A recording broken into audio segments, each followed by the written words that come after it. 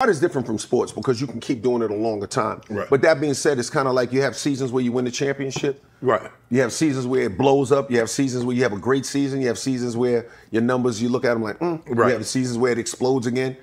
It, it doesn't mean you're not a pro. Right. You were professional throughout. You're still a pro. Right. You, but your whole career, you had different. You had your peaks. But you're not going to have a You had different seasons, but you MVP were still seasons a, every year, Yeah, you felt like a pro though every Right. year, regardless. Right. You know, maybe you tweaked the ankle, maybe something was hammy, was you know, Yeah. whatever. Right. It's all good. Nah, I feel good. You were in the studio when Biggie recorded "Who Shot You," correct? Absolutely.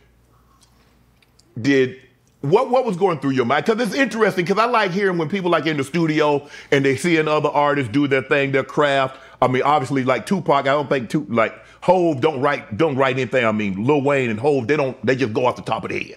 And I don't know if Biggie had anything down on paper, but it's interesting to see. Because when I went to the Pro Bowl, I like to see other guys like, okay, I can understand why he's like he is. I can understand why they're like that. So you're in the studio and you're seeing Biggie and he's recording Who Shot You. Yeah.